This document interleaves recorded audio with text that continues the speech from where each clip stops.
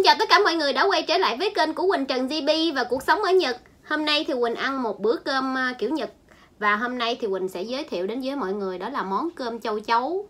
Thì ở tên, ở bên Nhật này thì nó có tên là Inago, là cơm trộn với châu chấu bỏ lên trên à, cơm này mình ăn chung ha. Và hôm nay thì Quỳnh sẽ ăn kèm đó là tảo xoắn. Meca bự ở Nhật. Và hôm nay trứng thì Quỳnh sẽ trộn với lại trứng cút trứng cút này của Quỳnh thì à, nó có hạn sử dụng. Mình ăn trước cái ngày hạn sử dụng là được nha mọi người.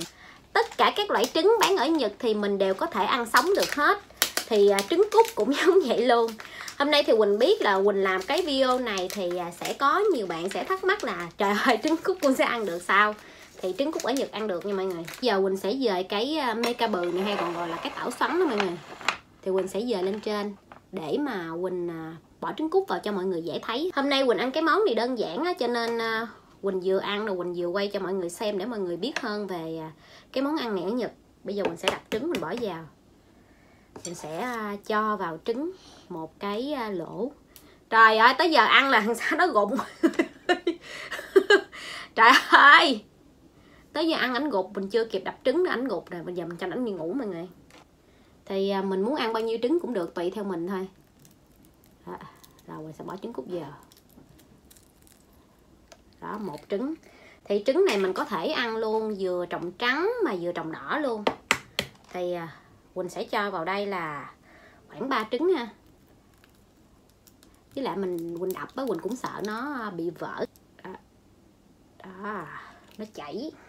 Rồi hôm nay thì Quỳnh sẽ ăn 3 trứng và kế bên đó thì Quỳnh sẽ cho vào bên trong đây là một chút xíu nước tương. Đó mình cho nước tương vào như thế này. Cái trứng à, cút này khi mà mình trộn chung với lại à, meca bự á mọi người thì cái vị nó cũng y như là trứng gà nhưng mà chỉ có nó nó hơi nhỏ chút xíu thôi. Người nhật thì cũng hay ăn kiểu vậy lắm mọi người.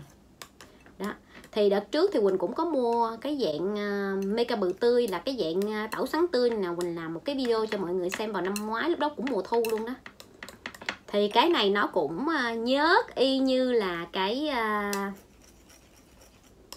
nó giống như nạch tô nó giống đó là mọi người thấy không? Kéo lên cái nó gì nó dài đây nè mà nó nhớt nó kéo lên gì nè đó. Đó nó chuẩn bị à, một ít uh, cá nha mọi người. Cá sashimi trộn rau. Quỳnh mua siêu thị thôi về mình ăn cho nó tiện ha. Ở đây thì người ta cho quỳnh sẵn nước sốt luôn mình đổ lên thôi nước sốt này thì hơi chua chua ngọt ngọt. Inago này hay còn gọi là châu chấu thì à, sẽ bỏ lên cơm và ăn như thế này. Thì à, người Nhật khi mà ăn đó mọi người, thì người ta sẽ bỏ cái phần à, người ta sẽ bỏ đi cái phần chân này bởi vì cái phần chân này, ở dưới cái phần chân của nó đó mọi người, nó có rất là nhiều mấy cái gai nhỏ nhỏ li ti mình ăn thì nó sẽ làm ngứa cái phần miệng của mình. Cái này là tùy nha mọi người nhưng mà anh xã quỳnh nói quỳnh vậy cho nên quỳnh làm theo vậy. Hôm nay quỳnh cũng mới ăn thử lần đầu tiên, mọi người. Trước giờ bên việt nam quỳnh làm gì ăn con côn trùng, ăn châu chấu thì trời đó. Thì ăn thì nó hơi ờ, bị ờ, rắc rối, phiền phức là mình phải ờ, lặt bỏ cái chân. Nhưng mà có nhiều con thì nó cũng rụng chân rồi, cho nên thì mình cũng khỏi có phần phải lặt. Giống như cái con này nè. Ừ, mọi người thấy không? Nó bị rụng hết chân này rồi, bây giờ thì quỳnh mời mọi người ăn chung với quỳnh nha quỳnh sẽ thử cái con châu chấu đầu tiên coi cái vị của nó như thế nào nha. Uhm. nó giòn đó mọi người. Nó rất là giòn luôn. Nó giống như là nó đã được chiên qua rồi. Và cái vị của nó thì mặn mặn ngọt ngọt giống như là đã đã đã, đã bỏ được bỏ uh, mật ong và soju vào đây. Và nó rất là thơm. Ở ngoài cái hộp nó ghi là nó um, giống như là nó được làm theo một dạng khô, mà khô ngọt của Nhật các mọi người.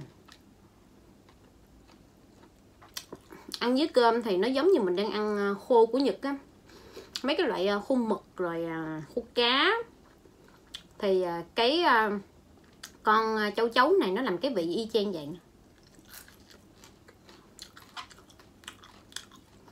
Quỳnh mua một hộp như vậy thì à, không có mắc nha mọi người. Quỳnh mua ở siêu thị gần nhà Quỳnh nè. Tình cờ Quỳnh thấy bán. Bởi vì là bắt đầu từ mùa hè chuyển sang mùa thu á thì ở Nhật có rất là nhiều châu chấu mà người ta đi thu hoạch à, mùa màng á. Thì người ta sẽ bắt về làm à, cái món này và nổi tiếng. Cái món này là ở tỉnh Nagano và một số vùng khác nữa. Người ta làm người ta bán món này. Quỳnh ở Nhật bao lâu nhưng hôm nay Quỳnh mới ăn thử luôn à ăn cũng rất là ngon. Ăn kèm với cơm. Nó y như là những cái nhãn khô của Nhật. Quỳnh ăn cái con này thì Quỳnh không có cảm giác Quỳnh gọi gì là gọi là sợ mà bây giờ mời mọi người ăn cơm à, ăn à, tảo nha. À.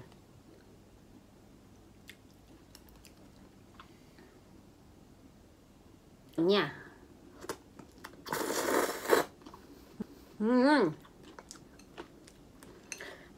cái cọng uh, tảo sắn này đó mọi người. Nó dính đầy giống rồi. Cái vị của nó thì à, nó hao hao giống như là cái um, cái phổ tai mà mình hay ăn ở trong chè đậu xanh bên Việt Nam. Nó hao hao giống vậy đó. Uhm, uhm. không biết mọi người có thấy nó nhớt nó kéo dài không ta? Khi mà quỳnh ăn vô á, thì cái tảo này thì à, mình cắn vô thì nó nghe sực sực sực sực sực. Là bởi vì cái tảo này nó đã được à, người ta xay sẵn ra. Năm ngoái thì quỳnh à, mua về thì quỳnh chế biến cho mọi người xem rồi đó. Thì bây giờ thì quỳnh chưa có thấy nó bán nguyên cái bẹ, mọi người. Nó chỉ bán như vậy hộp hộp thẳng thẳng thôi. Uhm. Uhm.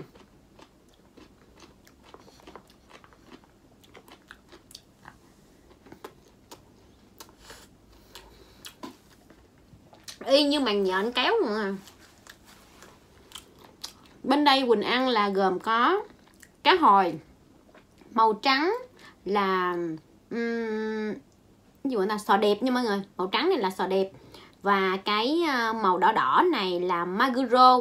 Maguro dạng này thì nó đã được um, nướng sơ phần bên ngoài và ở bên trong thì nó tái. Nó giống như cái dạng là mình đang ăn ờ, thịt bò mà áp chảo bên Việt Nam mọi người.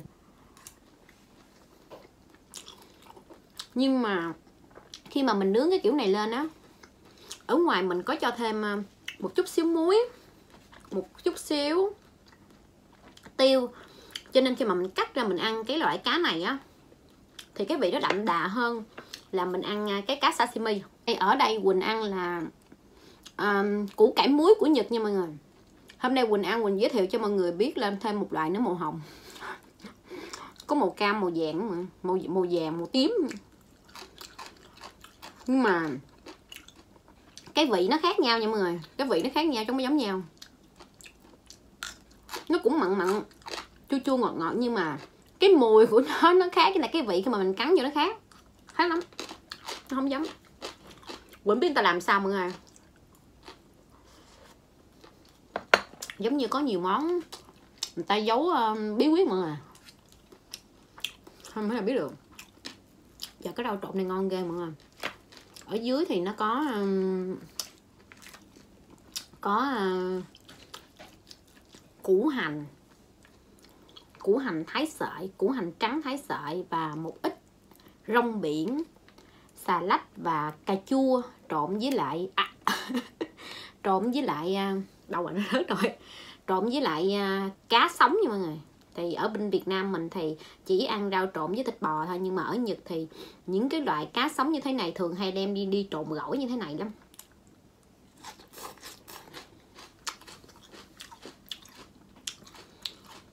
Hôm nay bữa cơm của mình bao nhiêu tiền nha mọi người? Trứng uh, trứng cút. 10 trứng trăm yên 20 ngàn trứng cút nhật mắt lắm mọi người. Mua một hộp trứng cút á. Bằng tiền mình mua chắc uh, nhiều lúc có hãy uh, ờ, trứng gà nó rẻ bằng tiền mua trứng gà luôn à. rồi 10 trứng gà. Châu chấu hôm nay Quỳnh mua một hộp này 250 yên là 50 ngàn tiền Việt Nam. Mê ca bự 200 yên. Mê ca bự tảo sắn 200 yên. Ừ, 200 yên 250 450 550 550 hộp này là 200 nữa. 550 là 950 950 với 500 là sen sen ờ, tư sen rưỡi cho mọi người là khoảng à, 300 ngàn tiền Việt Nam. Bữa nào Quỳnh ăn món Nhật á mọi người. Món ăn truyền thống của Nhật á. Thì không có nhiêu tiền mọi người. Mà quỳnh dẫn cho mọi người xem á. Đồ ăn rất là đầy đủ chất. Nào là có cá, có rau, có đồ muối, có đồ protein ở đây, có trứng, có súp miso súp miso này thì quỳnh nấu. Thì cái súp miso này quỳnh nấu nhiều lần cho nên hôm nay quỳnh không nấu nữa. Nấu nữa mọi người xem mọi người thấy sạm mà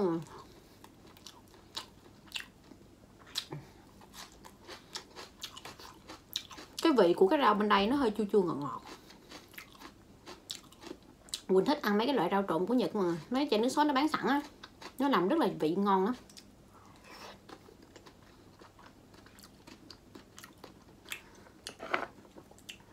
Mình ăn hết chín rồi nha.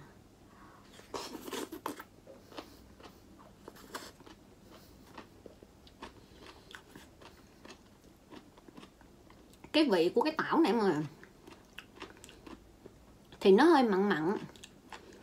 Khi mà mình trộn kết hợp với lại trứng á, nó béo.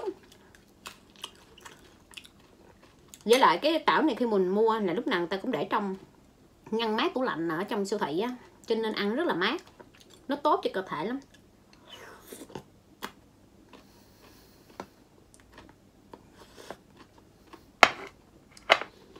Bạn nào mà rồi ơi. Bạn nào không ăn được trứng sống mọi người. Thì trứng cút em nghĩ chứ không ăn được đâu mọi người. Trứng cút á, quỳnh ăn quỳnh cũng không thấy có vị tanh nha mọi người. Bây giờ thì quỳnh sẽ đập trứng cút vào trong tô mình ăn.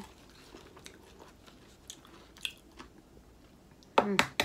Này, mình sẽ đập trứng cút cho tô nha. Hồi nãy mình đập bên kia là ba trứng rồi đó. Rồi giờ đập cho tô nè, đó. Một trứng nè. Hai trứng nè. Đập nhiều quá, chút mình ăn mấy món kia không nổi chứ. Để mình coi cái vị nó như thế nào. Làm một chút xíu nước tương nè. À. mình cho hết mê ca bừ vào đây luôn. Mê ca bừ vào đây luôn. Đó. Trời ơi. Nó kéo sợi sợi rồi, bây giờ nè mọi người. Đây, ở trong đây nè nha, là có trứng nè. Mọi người thấy không ta? Ở trong đây là có trứng nè, có mê ca bự có cơm ha.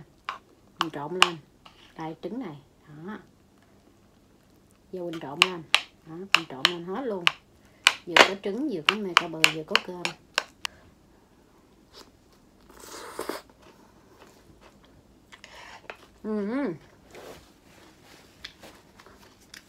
Quỳnh thấy mấy kênh kia ăn cơm trứng sống mà. Mà trứng á có chịu trộn lên dĩa chân để nguyên trứng ăn không mà ăn chứ ăn trồng đỏ, trồng trắng chịu lại sao ta?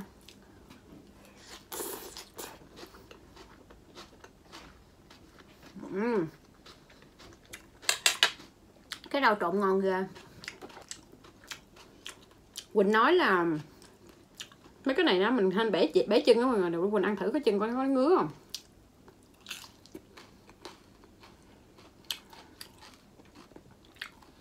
Nếu mình ăn cẩn thận mà nó vô ngay từ lúc đầu mọi người.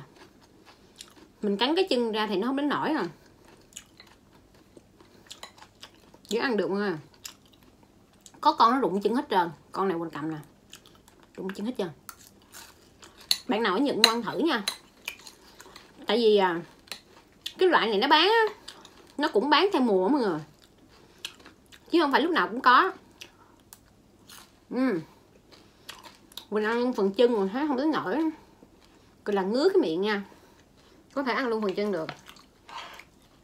Thì à, nếu mà mọi người ở Nhật á nên mua ăn cho biết còn không là phải hết qua mùa thì à, người ta mới làm bán lại.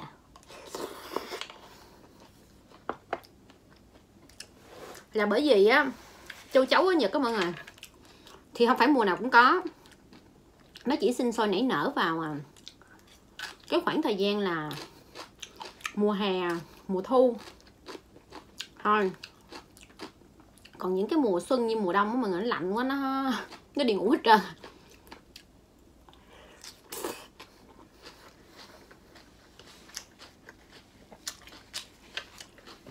Với lại trên cái hộp khi nãy mình mua á thì à, cái này nó để cũng lâu. Mình mua là cách đây hai ba bữa nhưng mà hạn sử dụng mà mình thấy hồi nãy ghi với cái hộp á là ghi tới uh, muốn hết tháng 11 luôn. Có cái hộp vậy mà để hết tháng 11 mọi người có thể là để được hai tháng. Không biết bên Việt Nam mình có ăn châu chấu không rồi không biết.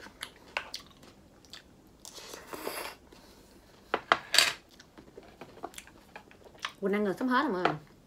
Hồi đó Quỳnh có đi qua bên à, Campuchia Quỳnh đi du lịch lần. Thì Quỳnh cũng có ăn thử à, con gì của anh ta? Con nhìn nhện với à, với lại con bò cạp mà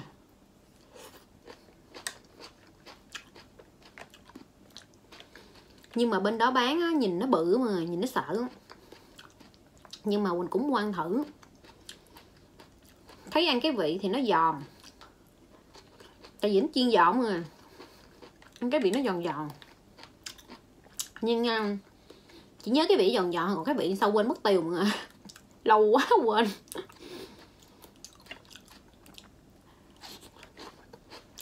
Mà nghe nói là bây giờ bên Việt Nam mình này cũng có mở mấy cái cửa tiệm bán à, mấy con côn trùng rồi.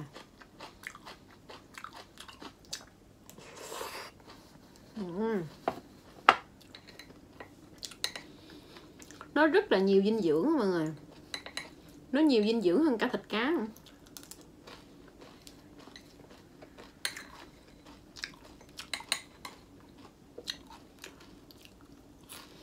bên Việt Nam mình còn ăn nhiều món ghê hơn vậy ăn cả kiến cơ nè.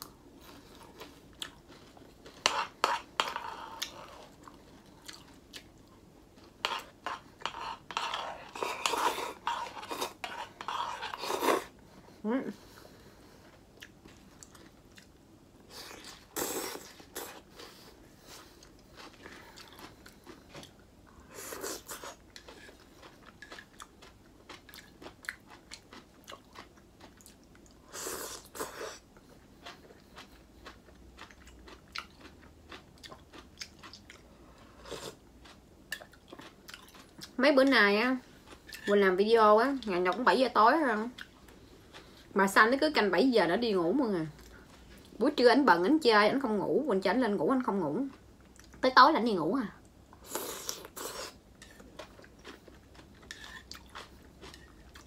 Ngủ giờ ngược đời mà thì cái video của Quỳnh đến đây cũng là sẽ kết thúc nha mọi người ơi. Quỳnh cảm ơn tất cả mọi người đã theo dõi hết cái video của Quỳnh. Nếu mọi người thấy thích cái kênh của Quỳnh á mọi người hãy bấm đăng ký, like, share ủng hộ kênh giúp Quỳnh nha. Quỳnh hẹn gặp lại mọi người ở video vào ngày mai. Bye bye.